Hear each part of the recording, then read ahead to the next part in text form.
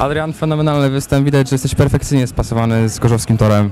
Można tak powiedzieć, bo e, e, gdyby e, nie pierwszy start i ta jedynka, to by było na, naprawdę super, ale z, z meczu na mecz jest coraz lepiej i na pewno będę się starał, żeby tak było e, non-stop, ale chcę po prostu, żeby było wszystko e, dobrze, ale z, z, z e, biegiem czasu na pewno będzie wszystko już na 100%.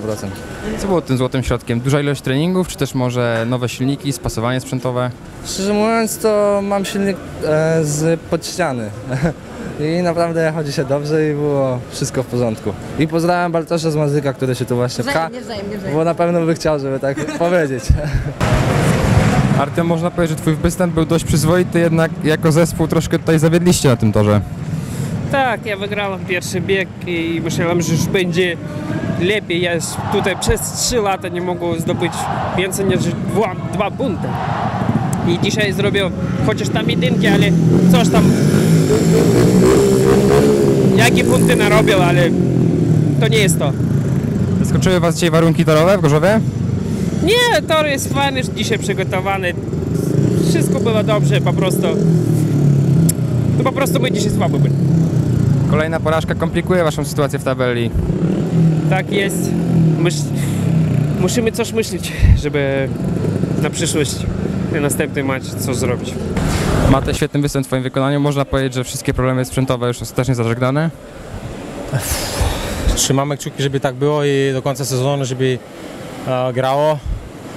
E, naprawdę dziękuję swojemu e, tuneru za świetną robotę, także oby tak dalej. Teraz czeka nas dłuższa przerwa od e, Ekstraligi. Masz jakieś plany na starty? E, mam już jutro w Anglii i później jest Grand Prix e, i później znowu Anglia, także na szczęście mam Anglię, także nie będzie przerwy. Dzięki dzisiejszemu zwycięstwu zajmujemy piąte miejsce w tabeli. Widzicie jeszcze nadzieję na walkę o playoff? Walczymy, walczymy i obyśmy wywalczyli. Niestety kolejna porażka w wykonaniu waszego zespołu komplikuje znacznie waszą sytuację w tabeli. Macie już pomysł, jak można jakoś te punkty odrobić? E, Pierwsza sprawa to powinniśmy wygrywać mecze u siebie. Niestety tutaj przegraliśmy i z Unią Tarnów i ostatni mecz z Unią Leszno. E, Meczy zostało niewiele. Przeciwnicy też nie są słabi, bo to jest wiadomo Ekstraliga, najlepsza liga świata.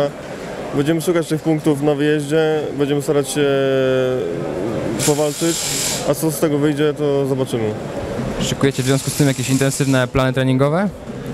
E, Myślę, że tutaj trener zawsze e, przedstawia zawodnikom, e, kiedy są treningi. Z tym tutaj nie ma żadnego problemu. Dostępność torów Grudziądzu jest praktycznie zawsze. Zawodnicy mogą przyjechać nawet kiedy nie ma treningu.